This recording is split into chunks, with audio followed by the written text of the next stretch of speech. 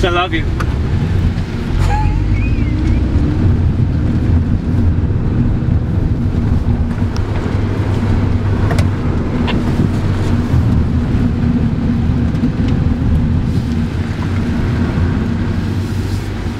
We'll go in. That's fine. I can get it in one take. You car sick now? No, I'm not car sick. As you see, the near lane closest to tent, we have the manual transmissions to be on, for you to drive.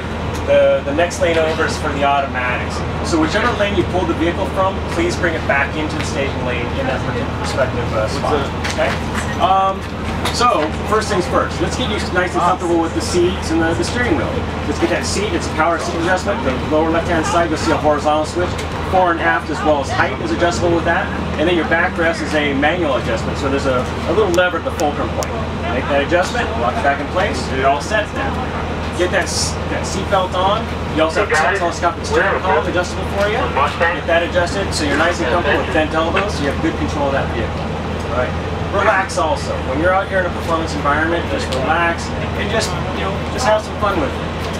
All right, so once you're all set, bring the car up to the green cones where Leo's standing out there. He'll greet you and make sure the course is clear for you. And then he's gonna go, all right, you're all set to go. Go ahead and just go ahead, and get on that throttle, full throttle acceleration. Once the vehicle reaches those red flags out there, however, get on those brakes as, as hard as you feel you should, which means it's a right-hand turn, 90 degrees, so really use those brakes. You don't have to do a full ABS stop where you come to a stop, but slow the car down enough to make that right-hand turn. And in any anything we do, our eyes tell our hands and feet what to do. So your eyes should lead you where you're going. So look where you want to go and think where you want to go. So before you turn right, look to your right.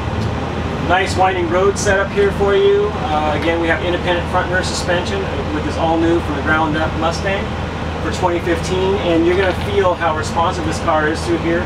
Very little movement, like leaning there, very little of that. Also, under acceleration and braking, you're gonna notice very little nose lift, as well as you know tail end squat, and under braking, you're gonna notice very little nose dive and tail end lift.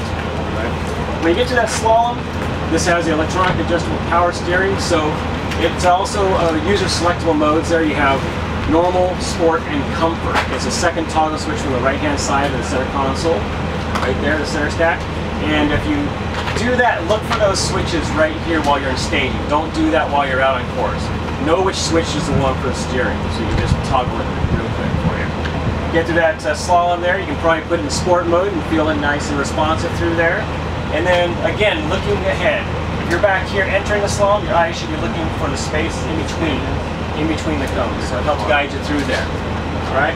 After the slalom, nice and slowly back into our staging lane. If you'd like to take more than one lap, please do ask. Go to the bypass lane, ask them if I can take another lap, and then just go ahead and take another lap. Um, but if you want to bring that vehicle back in, say you started in the automatic, bring it back to the uh, staging there. If you want to drive manual, ask them to get you in that manual. All right. Any any questions there, gentlemen? Thanks for coming out. You're part of the year. We're Eco